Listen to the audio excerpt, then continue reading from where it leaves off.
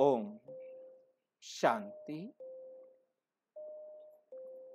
हम अव्यक्त मुरली रिवाइज कर रहे हैं।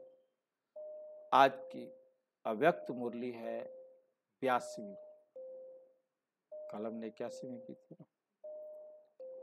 अब नहीं तो कभी नहीं। ये मुरली बाबा ने चलाई थी 21 जनवरी 1971 आज बाप दादा हर एक बच्चे के मस्तक में क्या देखते हैं? आज बाप दादा हर एक बच्चे के मस्तक में क्या देखते हैं?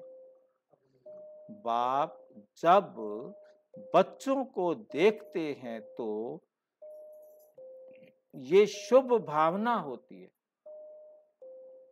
कि हर एक बच्चा ऊंचते ऊंच भाग्य बनाए।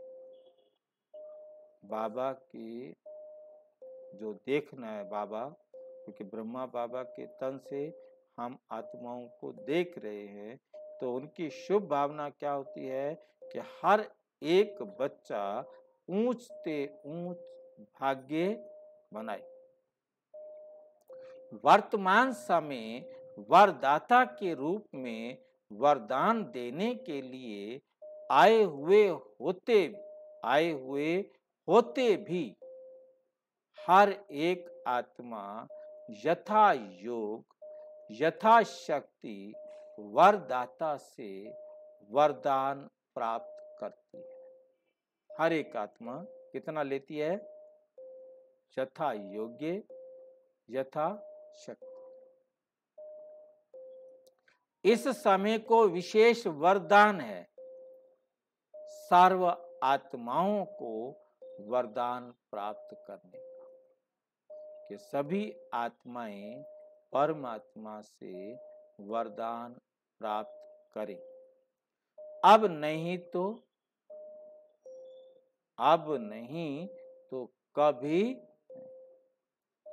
आज इन आत्माओं राज्यपाल और उनकी युगल को भी वरदान प्राप्त करने का शुभ दिवस कहेंगे।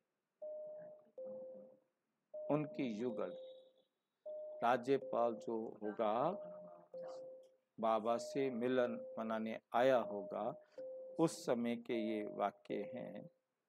राज्यपाल तथा उनकी युगल को भी वरदान प्राप्त करने का शुभ दिवस कहेंगे।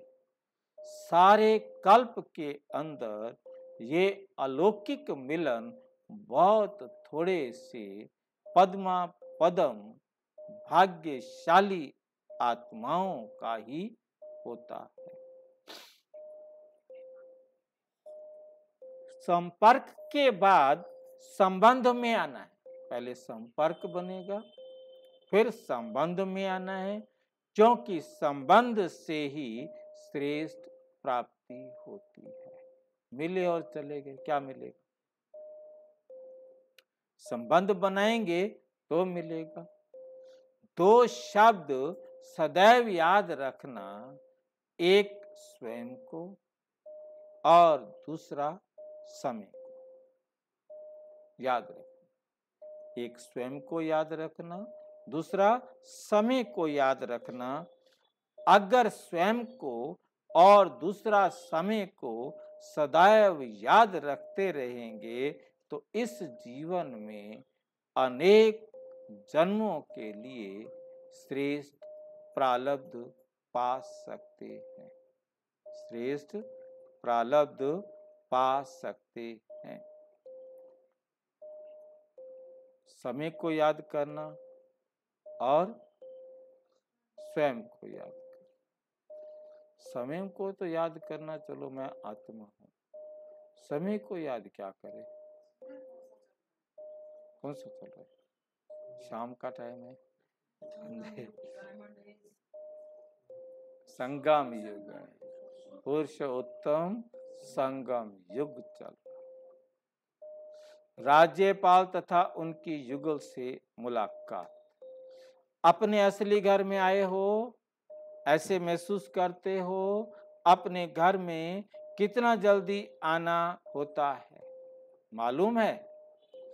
जैसे ड्यूटी से ऑफ़ होने के बाद अपना घर याद आता है, इस रीति से अपने इस शरीर निर्वाह की ड्यूटी से ऑफ़ होने के बाद घर याद आना चाहिए।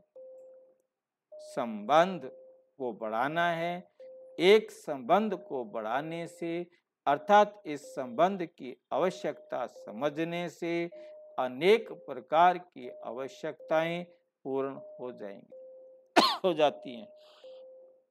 सभी अवश्य, आवश्यकताएँ पूर्ण करने के लिए एक आवश्यकता समझने की है। जैसे, शरीर निर्वाह के लिए अनेक साधन ज़रूरत है। हमें शरीर का निर्वाह करना है तो उसके लिए क्या चाहिए? अनेक साधनों की ज़रूरत होती है। वैसे आत्मिक उन्नति के लिए एक साधन की आवश्यकता है। वो क्या है? कोई एक साधन के लिए आवश्यक है। इसलिए सदैव अपने को अकाल मूर्त समझते चलेंगे। बैग दे दो। समझते चलेंगे। तो अकाल मूर्त में से भी अकाल से सर्व, अकाल से सर्व समस्याओं से बच सके। कितना भी बड़ा दुख आएगा, कितना भी बड़ा कष्ट आएगा उससे आप बहुत सहज रीति से बच सकेंगे। मानसिक चिंताएँ मानसिक परिस्थितियों को हटाने का एक ही साधन याद रखना है। वो क्या है? सिर्फ़ अपने इस पुराने शरीर के भान को मिटाना। मैं आत्मा हूँ। मैं आत्मा हूँ। बस इतना समझना है। इस देह अभिमान को मिटाने से सारी परिस्थितियाँ मिट जाएँगी। कि सारी मुसीबतें किससे हैं? देह से हट खत्म करो।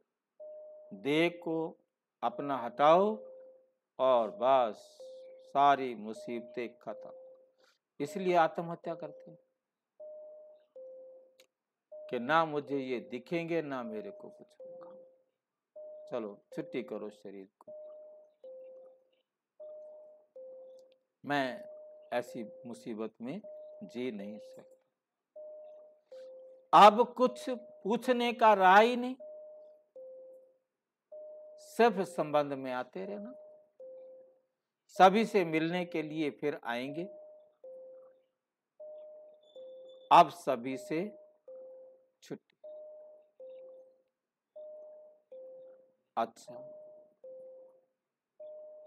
विस्तार से जानने के लिए प्रजापिता ब्रह्मा कुमारी ईश्वरीय विश्वविद्यालय के किसी भी सेवा केंद्र पर संपर्क करें और यदि कोई प्रश्न हो तो nine two one three one zero six nine eight six पर केवल टेलीग्राम करें।